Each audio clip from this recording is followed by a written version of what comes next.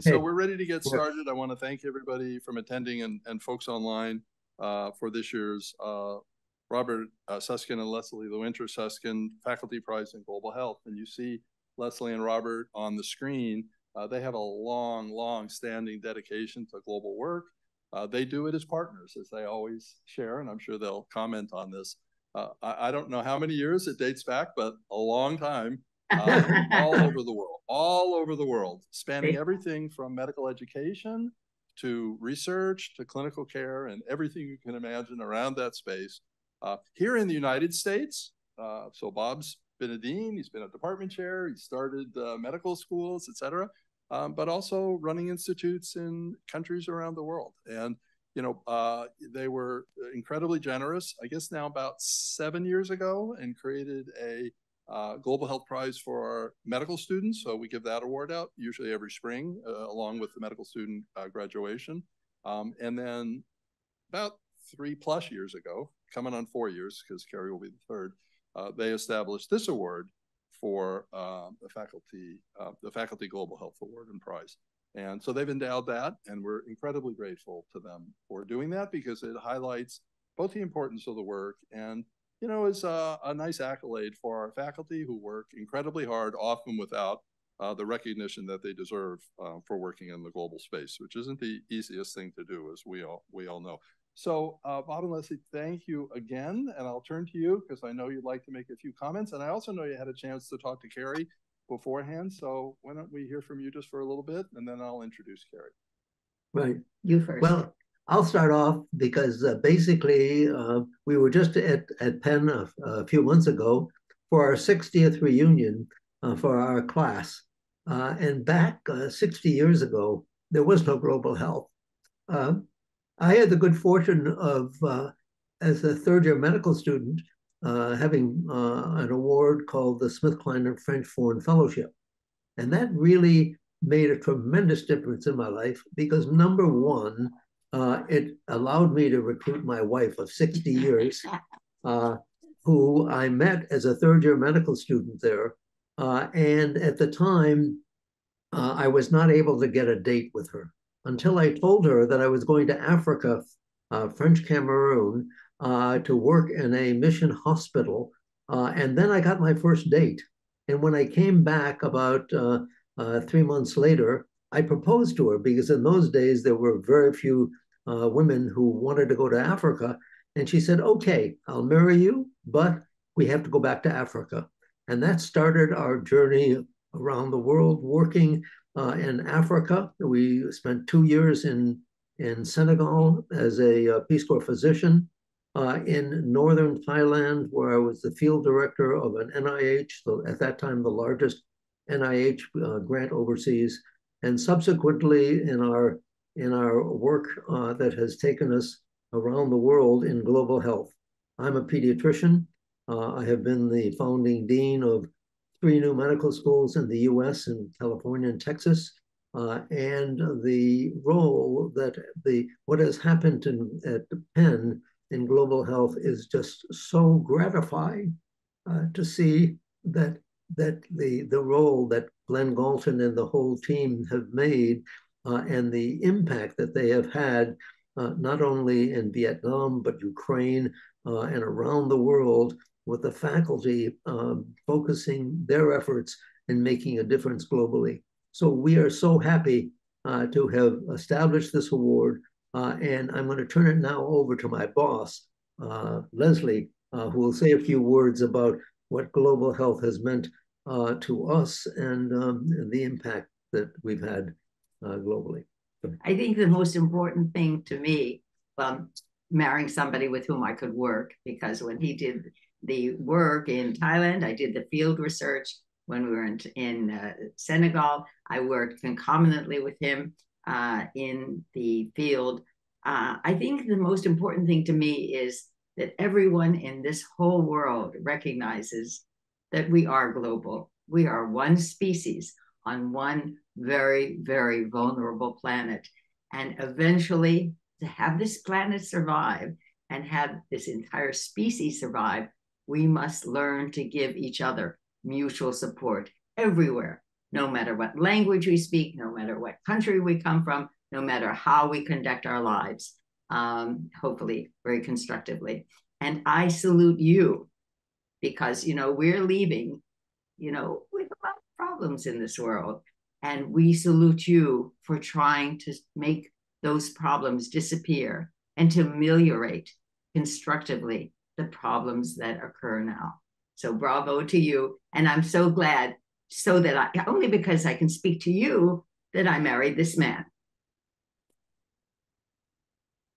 Thank you guys. Uh, and again, you're, you're so incredibly generous. You're the best. You got a few years to go, though. I think Rosalind and Jimmy Carter have a couple of years on your marriage, so hang in there. plus years at least.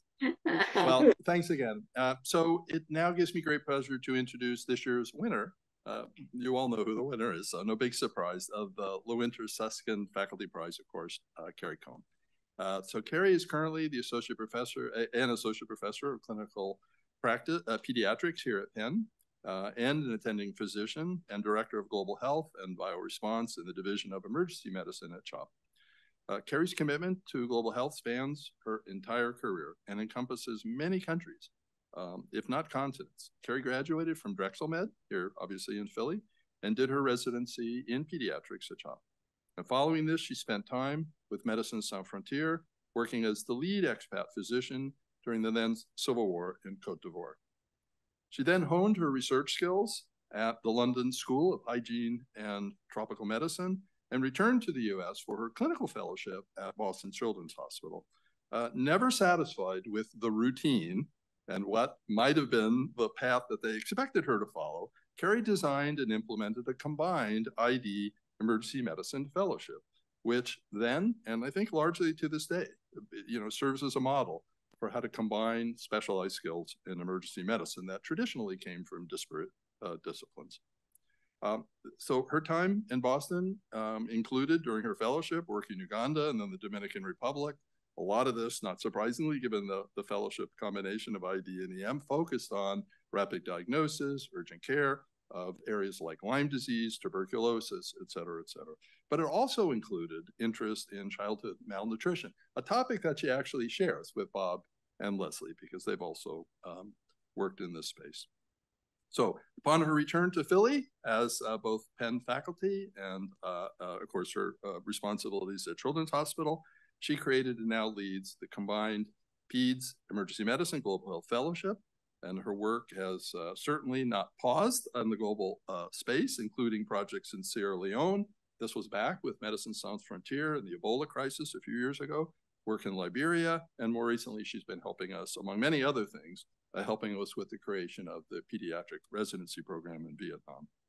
Um, as mentioned earlier at the very beginning, Penn, uh, Keri um, now leads the CHOP bioresponse effort and indeed is a nationally renowned uh, global health expert but perhaps I was going to say, you know, my notes that I wrote earlier said just as important. I'm going to say more importantly, she's an incredible and dedicated mentor. And many, many people in the audience and those, uh, you know, who are not able to be with us have benefited from her incredible generosity, both of knowledge and of spirit and dedication to all of us, her colleagues. So, Keri, it's a great pleasure to congratulate you on this award. We look forward to hearing from you. I'll be back at the end. We'll take some questions and I want to remind everybody we have a reception afterwards, but we'll say more about that at the end. Keri, you guys go.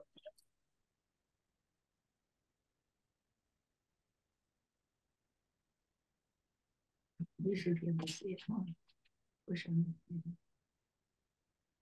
I feel like Glen kind of said it all, so maybe I don't have much to say. Uh, all right, what did I do wrong?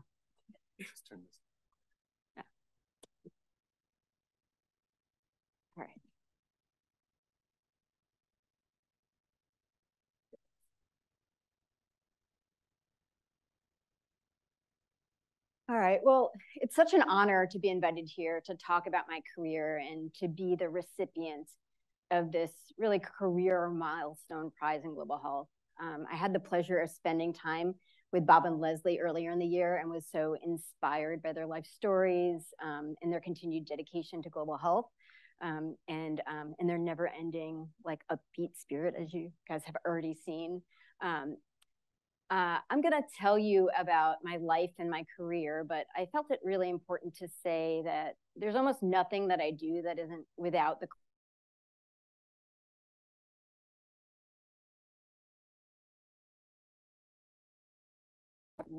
um, and so with that, I'm going to talk to you a little bit about when I was a first year medical student.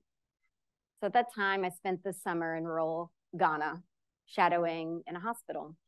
And for those of you, you who don't know me, I'm a lifelong runner. And after work from the hospital each day, I'd go home and I'd go for a run um, through the village that we were staying in. And there was this little boy named Courage, and he had this same single green t-shirt with a, a hole worn up in front. Um, and I could recognize him um, always with his uh, with his t-shirt. And he would come out and run with me. And he would run as fast barefoot as I ran with my shiny Nikes. Um, and um, kind of grew on me and became my friend throughout that summer. Um, and um, quite a few weeks into my stay, he showed up in the hospital and uh, he had been bitten by a dog previously and developed rabies. And for three days, I watched him die a torturous death. And it was the most devastating thing that I had ever seen in my entire life. And I walked away thinking, how is it that this little boy, who had so grown on me, couldn't be saved from this preventable disease?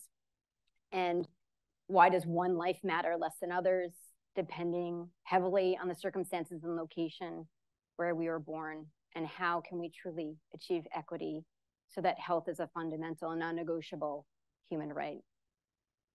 And uh, then I thought, sorry. And then I thought, if I wasn't willing to try to solve the problem, then who would be? Um, my life's work in global health has been an evolution.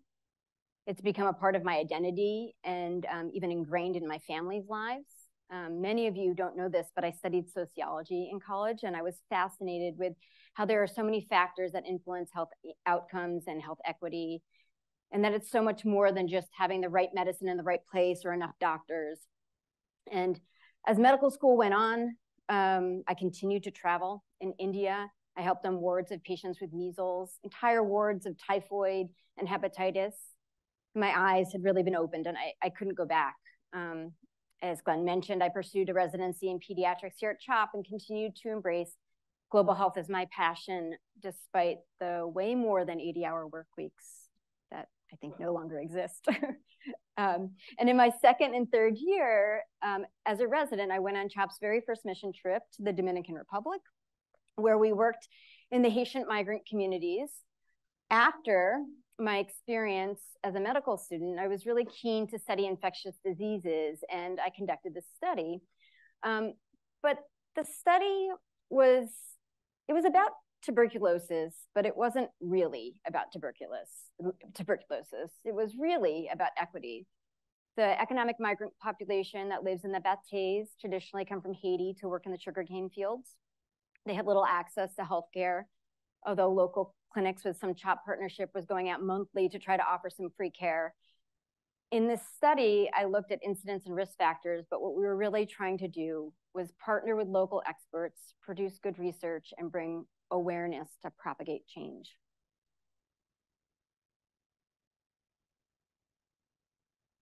After residency, I so desperately wanted to specialize in global health, but there were no fellowships or training programs at the time. And often when I told people what I wanted to do, the response was like, oh, you really like to travel and go on vacation.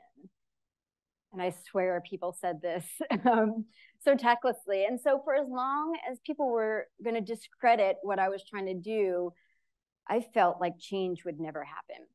This is a photo that I took of Mount Everest when my sister and I were climbing to base camp during medical school. And um, the mountain where I'm going is so big, uh, and it's not really clear how to get there from here. Um, I just know I'm still down here at the beginning and haven't even hit the snow yet. I know there might be physical challenges like exhaustion, hunger, and altitude sickness. And I know there may be unex the unexpected, like, for example, an unwelcome case of typhoid at 20,000 feet. Um, but I'm still just here trying my darndest to get me to the place that I need to be. And so, after a lot of thought, I pitched the idea of doing a combined fellowship in both pediatric infectious diseases and emergency medicine. My best calculation on how I might get the skills I needed to take the next step in doing right for kids just like Courage. I decided to go to Boston Children's Hospital, but the program needed to be approved by dual boards. So in the interim, I left the United States for some practical global health experience. Chu Chugbuake was where I grew up as a doctor. The day I graduated pediatric residency, I boarded a plane and I went to Africa to volunteer uh, with Médecins Sans Frontières. I ran a university-sized hospital in the rebel zone of the Ivory Coast during their civil war, where I supervised 25 mostly senior local medical students who were all that were left after the war created brain drain.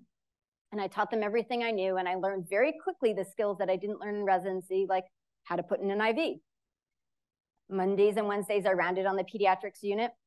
We had 40 beds and more than 40 patients with a mortality of 8.5%.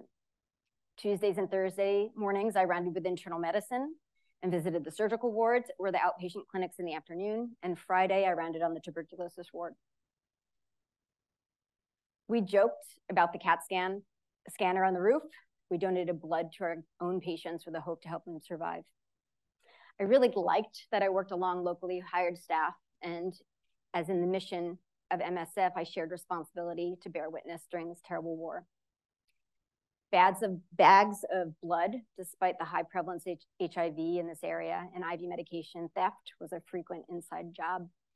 The sad truth of war turning really good people to desperation. I also learned things that I never thought I needed to know, like how to put IOs in unique places when other options were blown, how to de-escalate a soldier, a soldier with a gun in my emergency room, and how to sweet talk the head of the rebel army after his prisoner escape. how to speak round and live in the local dialect of African French, I learned how cholera tents were constructed and how to run a malnutrition ward and how viral hemorrhagic fever was tested for in rural and remote places. And we save lives. Actually, a lot of them. But I was increasingly aware that being a doctor, providing direct care alone, was never going to be enough. The sociologist in me knew that there were greater factors here. I understood I was saving lives and teaching those around me, but I also knew that it was time to go and learn more. I felt that if I was going to be an expert in global health, I needed to get my diploma in tropical medicine and hygiene. This brought academics to my practice and broadened my understanding of the determinants of health. And this is literally me catching mosquitoes to study the, under the microscope. I returned to the US to Boston, where I started my five year fellowship in pediatric infectious disease and emergency medicine. I did a master in public health at Harvard, focusing on clinical effectiveness and global health. And I partnered with the Massachusetts General Hospital Center for Global Health. And when a trip to South Sudan uh, derailed due to political instability, I found myself in rural Southwest Uganda, where a colleague was starting an amazing task shifting program, teaching nurses to become emergency care pr practitioners in a location where there were very few doctors. This was an overwhelmingly young and un uneducated area of sustenance farmers, many of whom lacked clean water. In the Nyakibale emergency room, malnourished children were coming in with malaria, pneumonia, tuberculosis, and sepsis. In a world where greater than 45% of the under five mortality worldwide is caused in part by malnutrition, treating with antimicrobials wasn't going to solve any underlying problem but nobody seemed to have the bandwidth to see or maybe more so have the energy to address the bigger picture. Malnutrition is neither the usual scope of the emergency room nor the infectious disease physician. But when I was here providing emergency and pediatric care, I realized that if I really wanted to help, it couldn't just, again, be about me seeing patients. It had to be about me listening to what my colleagues needed and creating a bidirectional partnership to fix the underlying issues. That summer, we did an assessment of the Rukungiri community to better understand the structural and social determinants of disease. I engaged with the local government's board of the hospital, the Minister of Health, and the district and the local health and the local district health officer. We focused heavily on education and created a curricula which trained all the nurses and doctors to screen for and provide inpatient care for severe acute malnutrition. Our mortality dropped from 4.8% to 1%. We opened a canteen on hospital grounds where 80% of the profit would cycle back into the program to encourage sustainability. We bought cows to make our own therapeutic milk. Even I learned how to task shift. Never knew I needed to know how to milk a cow.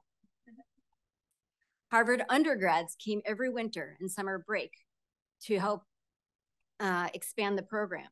We trained all of the health centers in the entire district, to treat moderate acute malnutrition as an outpatient and, worth, and worked with community health workers to screen children in remote areas. We created um, an educational garden initiative where we taught parents of inpatients to grow food and feed their children balanced nutrition and actually had a garden on the hospital grounds where while they were there, they were expected to go and work in the garden and then could bring the food back to eat. We also created a feeding mothers program.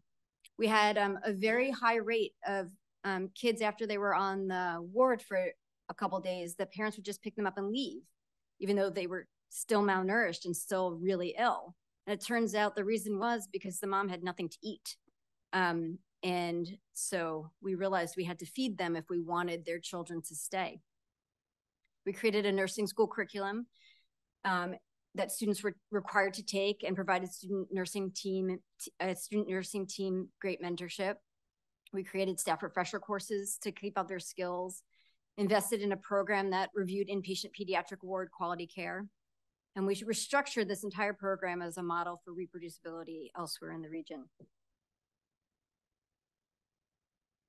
And in local schools, because nutritional education seemed to be a risk factor here, as a collaboration with the Minister of Agriculture, we taught children to grow and eat a wide variety of balanced foods.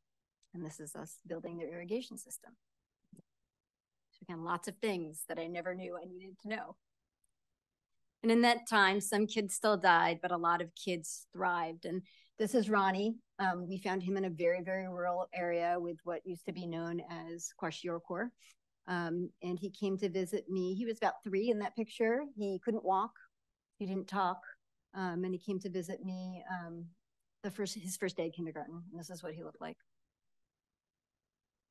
Um, after six years of this program, we transitioned to the local government governance one of those original Ugandan emergency care practitioner is an invited speaker at this week's CHOP Global Health Conference and is arriving at the airport as we speak, as I speak. Um, and um, many of those Harvard students became physicians, public health professionals, or founders of their own NGOs in Africa.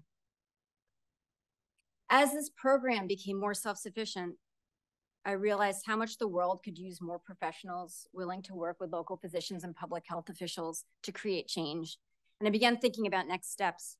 I wanted to create more physician leaders in global health, both at home and globally, while continuing to follow my passion for improving health equity and the lives of others where, whenever the opportunity arose. There really felt still to be a lot of stigmata around being a global health physician in academic medicine. Um, but I didn't want to be hired under false pretenses to do something that I wasn't passionate about. So again, I pitched my case um, not only did I want to expand global health at CHOP, but I wanted to create a global health program within the Division of Emergency Medicine and create global health fellowships that provide the skill and opportunities for success. I didn't want um, to be offered a job if my new boss wasn't supportive of this vision, at least in principle. Um, I moved to Philly and I joined CHOP as faculty, and Kathy Shaw and Rodney Fennell gave me a platform. And with that, I created a combined fellowship in emergency medicine and global health to train pediatric physicians committed to careers in global emergency medicine. I picked Alex as my first fellow. She's right up there. um, and she'll she'll make recurring appearances on my slides. She was um, she was really experienced and already committed to everything that I was passionate about. So she was a total shoe in for success. Um, and some very wise person said, pick somebody that's going to really succeed and it's going to make you look good. And they were completely right. Um, and at that time, along with ultrasound, our division of emergency medicine embraced global health as an area of novel development. During the 2014-2016 West, West Ebola epidemic, my chief and colleagues in the Division of Emergency Medicine supported me to return to West Africa, again to volunteer with Médecins Sans Frontières.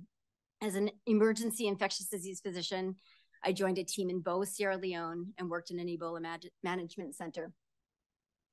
This was another defining experience for me because it really changed the way I understood the factors that played into public health.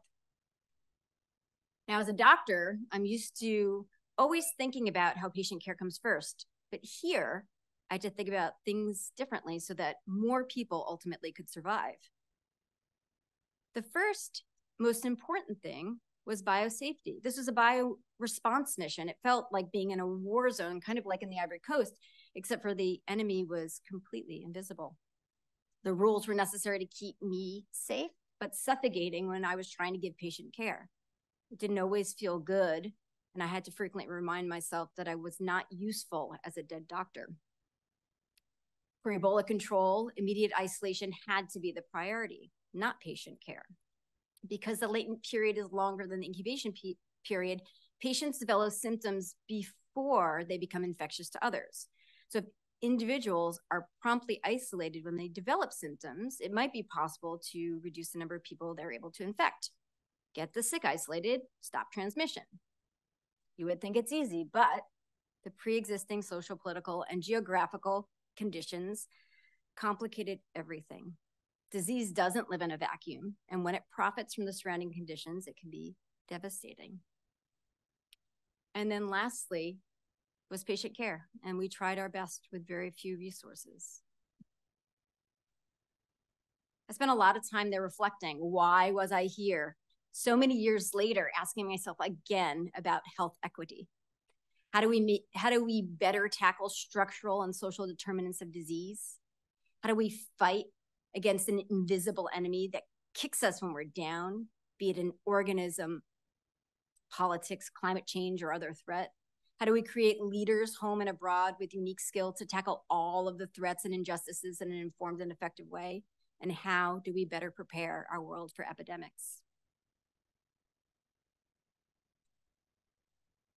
While I was in Sierra Leone, in addition to treating Ebola, I was assigned the task of caring for patients with G tubes necessitated by accidental esophageal injury. Soon after, Alex again, who was working next door in Liberia, saw a constant flow of patients with something called caustic soda ingestion. After discussing with local families and providers, it became clear that there was a dangerous substance harming children and no one was doing anything about it. I was lucky enough to keep Alex as our second PEM Global Health faculty member at CHOP, and we teamed up with Liberian partners to both identify and try to tackle the problem. Caustic soda is used in Liberia to make soap and is a common household cleaner. In a solid form, it looks like salt or sugar. You can see that right up here. And its liquid, liquid form, it looks like water and is completely odorless and tasteless.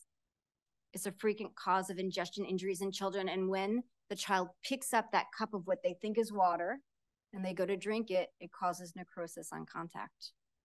This leads to significant morbidity and mortality.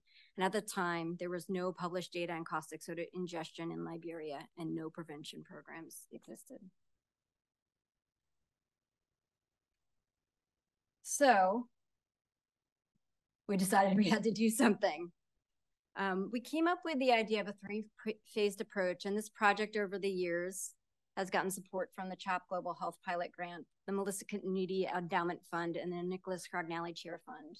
Our first phase was to examine how caustic soda was used in Liberia to figure out what was going on. Where was the actual problem? How are these kids getting to this caustic? The second phase was to determine the incidence of caustic soda ingestions in Liberia and review the circumstances around the actual ingestions that were happening. And we knew we needed to do this because we knew nobody was going to pay attention. If we just said, hey, we think there's a problem, we need to come with data and say, look, we have numbers. This is the number of people on your wards where this is happening. And then our last phase was to develop a culturally appropriate pilot prevention program and utilize our data to lobby for change. In 2016, we partnered with two Liberian physicians and a Liberian nurse who happened to be an expert in caustic soda ingestion. We held focus groups in six Liberian counties with two identified stakeholder groups. The first were parents of young children, less than five years of age. And the second were people who make soap using caustic soda. Um, we collected data from these focus groups until thematic saturation was reached. And with this study, we were really able to identify the timeline of caustic access in the home, the high risk times for accidental exposures, possible areas of intervention, while still being sensitive to the economic dependence of soap makers on caustic for their livelihood. We discovered that parents and soap makers alike supported prevention programs, but the information that we needed to develop a successful intervention program was still unclear. And so we pr proceeded to phase two, where we needed to prove to public health officials that caustic soda ingestion was a real problem that affected morbidity and mortality in the children of their community. Because of course, no prevention program can be effective, effective without the support of local governments and community. Unfortunately, um, this study was severely affected by the COVID pandemic and we enrolled less patients than anticipated. But we were able to compare patients with caustic soda injury and their peer controls in order to identify risk factors, both such as both recent and any prior storage of caustic soda in the home and lack of any schooling in any adult family member. So this is kind of where we're at now. Our next steps are to submit this manuscript and um, and then develop our most exciting part for me at least which is our prevention program. Um, and you know I just like everything we do this is not just about the patients or hoping to conquer this disease um, but rather answering the question of how do we continue to educate ourselves and our peers to become leaders to improve health equity um, worldwide. And here are our liberian partners um, and we worked with each of them to teach them and often learn together the process of each step of doing clinical research so that they could continue this type of work in the future. Uh, in 2018 and 2023, Jethro and then MIMA came to the US to present our research at the annual Pediatric Academic Society meeting, opening them up to a whole new world of academic medicine. In 2018, Glen approached Alex and I to join Penn in the VIN Group Penn Alliance to help develop a pediatric residency program in Vietnam. Through the support of Andrew and the Center of Global Health, and with a lot of collaboration with CHOP residents and faculty, we created a robust curriculum. And for me, the reason why this program is so cool is that when you teach new residents and med students, this will raise the bar for the quality of medical education throughout the country. Those physicians will graduate and go out and work both in public and private sector, maybe, um, maybe one, maybe the other, and often both. And they will teach both colleagues and students, and the children of that country will benefit, and families will benefit, and public health will benefit. This type of education affects both the direct health of patients as well as non medical factors that influence health outcomes. In 2019, we began a relationship as an, as an academic partner, partner to White River Indian Health Service. Despite a global pandemic, we've been able to cultivate this relationship.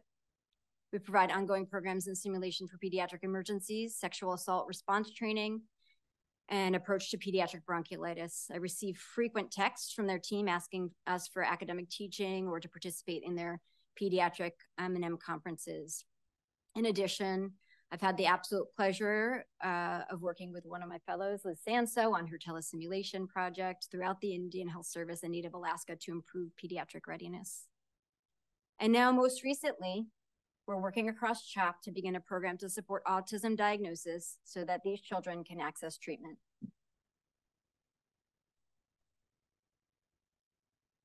Well, then it all hit home. Suddenly, global, global health even more obviously to everybody else became local health. And I found myself one of the only people who had ever dealt with a comprehensive response to what was at the time a very scary, highly infectious organism. In the time that my poor mother was running around after my twin three year olds, trying to impress upon them the importance of preschool remote learning in French, a language that she does not speak, I was in the CHOP Hospital Command Center working alongside CHOP leaders to create just in time bioresponse program that would keep our safe staff safe and our patients well cared for.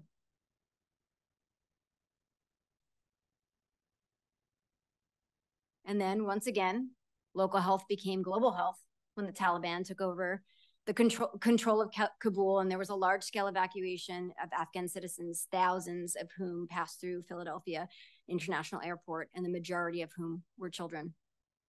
Many of us in global health and emergency room physicians worked late nights in the airport to welcome and address health concerns, and we were active in CHOP's response to provide high quality specialized care to this vulnerable population. And in addition to continuing as our divisional director of global health in the emergency room, this year I've taken on a newly created role of medical director of bioresponse for the Children's Hospital of Philadelphia. This is a role unique to CHOP, and we are a regional receiving facility for pediatric patients with high consequence pathogens such as Ebola or the next unknown pathogen. We've created a bioresponse surveillance program that tracks both mundane and less common bioorganisms of potential impact. We do point of point of entry travel screening at every point of entry in all of the CHOP system. And we have specialized facilities both within the emergency room and within the um, pediatric intensive care unit to um, be able to take care of these highly contagious patients.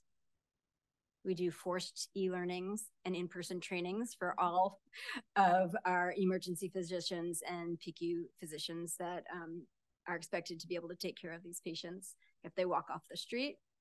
And we do multidisciplinary exercises, um, both at CHOP alone, including functional tabletop exercises, also with our colleagues at HUP, and then also regionally with Johns Hopkins and, um, and elsewhere in our FEMA region. I've also been an active leader in the executive board of the American Academy of Pediatrics section on global health separately, and perhaps one of the things that I've been very excited about is that I've had the opportunity over the fast, past four years to look, walk, to, to work alongside Alex and Andrew and other amazing global health fellowship education leaders throughout the country to standardize global health fellowship training requirements and attain the possibility of program accreditation under the umbrella of the Academic Pediatric Association. This past year, I was part of the committee to accredit the very first Global Health Fellowship program ever something my younger self would have wished to have as an opportunity so many years ago.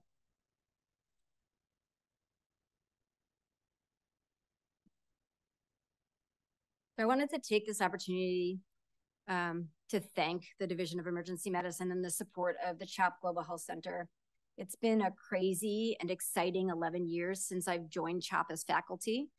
Our fellowships have expanded and continued within the emergency room we have a section of um, not six faculty members who continue to expand global health programs, education advocacy and research, and fully embrace global health as local health and health equity as the gold standard. Our fellows and faculty teach global medicine in all different facets, locally, nationally, and internationally. We are active participants as faculty in the annual CHOP Global Health Conference. And for the last six years, we've done every other year trainings in helping babies breathe. Tomorrow, if you guys, it's registration still open if you see myself or Alex. Um, and uh, Global Health Emergency Skills Boot Camp to teach trainees and pediatricians from all over these uh, important skills in global health. And there are also so many projects that I've either supported or been intimately involved in that I didn't even get discussed to discuss here today because they told me I only could talk for 30 minutes. And with that, um, I'd like to say thank you to Bob and Leslie Suskind and the Penn Center for Global Health for recognizing me for the work that I do and for continuing to be a force of inspiration for all of us in global health. To my colleagues and mentors, both international and domestic, who have each shaped me into who I am and helped me craft my career, including many of whom are, are in this room, to my fellows, trainees, and students who have taught me so much about how to support other people in a way that's effective and how to open my mind to new ways of thinking, new ways of being, and new ways of bringing good into the world. To my family, my three kids that you can see here, who have brought me unconditional love and a whole new challenge of motherhood. Um, and my mom, who helps care for them, and often me when I'm working too many late hours on my next crazy project.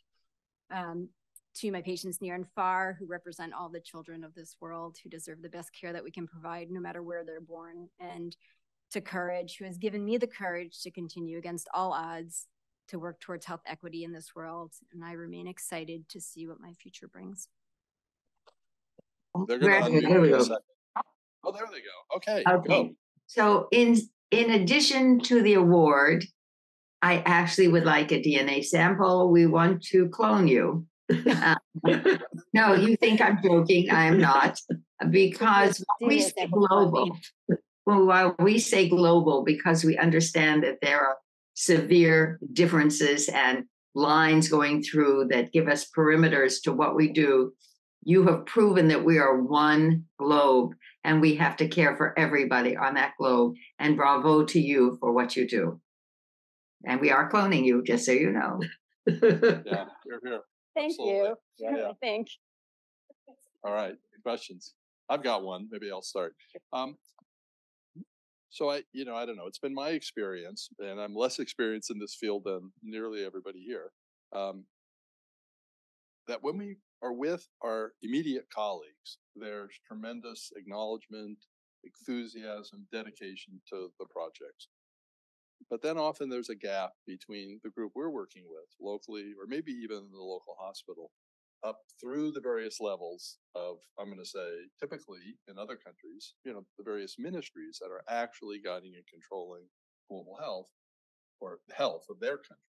So, how do you, you know, what have you found as success steps for moving from the local enthusiasm so that the changes you're implementing can have a lasting impact by being incorporated more into the, you know, the sort of the, the guts of uh, of the country or the local, you know, the, the districts or whatever.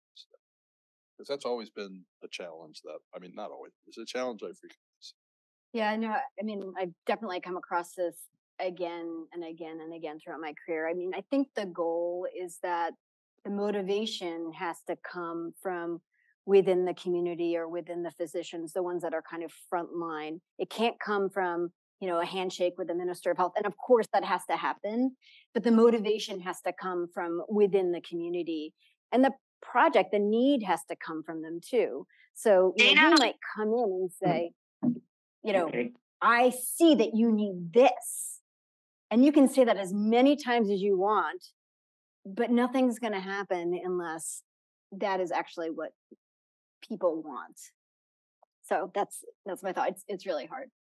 It is, I, I, my, mantra on this is make it somehow cost effective for the ministry because, you know, oftentimes things boil down to things that are just strictly monetary uh, from their perspectives. So you you've got to blend all these things together. Others, Andrew, you have any comments? Or? Yeah, okay. Andrew's going to go and then we'll return to you, Bob. Okay. Thanks, Keri. Congratulations. uh, Fantastic career and amazing to think that you're only one third done or maybe half done. So can't wait to see what else is coming. I just wanted to ask maybe if you could share uh, some of your learnings that you've had from colleagues in low and middle income countries and how that's impacted your career, uh, your approach uh, in, in the US setting. Yeah, I mean, I think uh, I'm talking to this. Um, I think um, you know, and we just just kind of you know alluded to this already, but I think um, the the most important thing for me, and it was uh, it was hard to learn, was to meet people where they're at, um, and to really, as mentioned, kind of see what the community needs. And if you think back to kind of my malnutrition program, I didn't really have any interest in doing malnutrition. Um, I was there as an ER trainee, as an infectious disease trainee, and um, and you just do what people need, um, and it needs to come come from within. Um, and I also think um, I think you need to listen to what people also want for not only their community but for for their careers. I mean, some people are stuck in a job and you're like knocking on the door saying, "Hey, this kid is dying," or you know, whatever. We should do a big project about this, but maybe that's not what their passion is. And so, how do we work together so that you can pursue your passion within medicine and improve healthcare in the way that is your vision? Because it's not about my vision. Um, and so, you know, I think really doing, it's really listening and thinking about what people need personally and for the community is kind of the biggest message that I've taken home. I have another question too. Gary, I, uh, I, I mean, I had read all your CV and uh, seen what you've done, but now when you talk about it, it's quite overwhelming. But the most overwhelming part, what you did, and probably you may not even realize it, is that you created a legacy at one of the top institutions in pediatrics at Children's Hospital, at an Ivy League university to create a global fellowship. That's a lasting legacy. And you walked the path first and you did it. That means many will follow you decades to come and help many more children.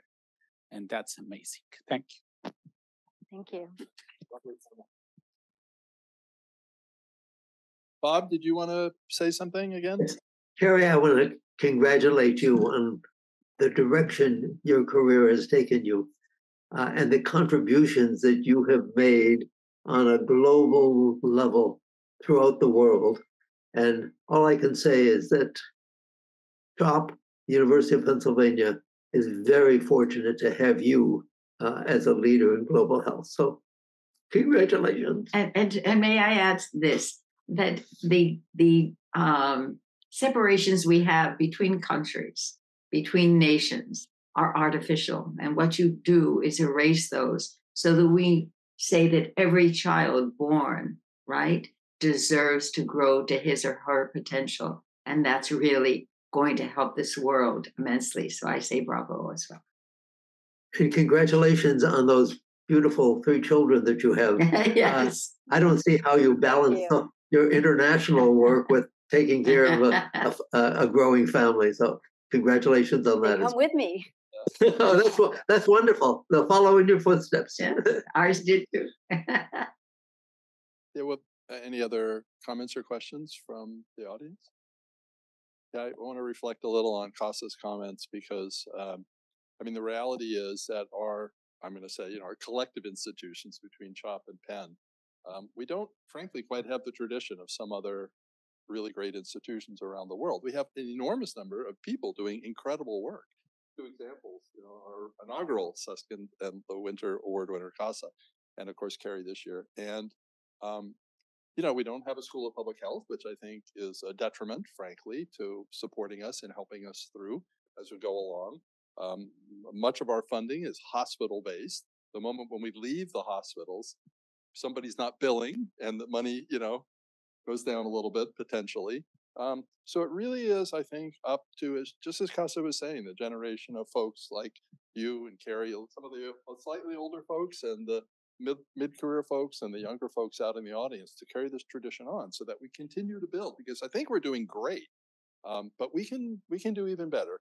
And a lot of that is centered around continuing to uh, institutionalize global health at CHOP and at Penn. I actually think it's more institutionalized at CHOP than Penn, to be frank about it. Um, but maybe that's because I see the Penn side more. Um, and Andrew keeps telling me it's better at CHOP. no, but I actually think uh, yeah, you have a little bit of a longer tradition. So um, thank you all for coming. Um, want to remind everybody that there is a reception uh, afterwards. I want to thank uh, Alejo and Maria, Megan, and the rest of the Charlotte and the rest of the global health team. Also, the medical student global health interest group who helped organize things and particularly the reception part. And of course, again, congratulate Karen.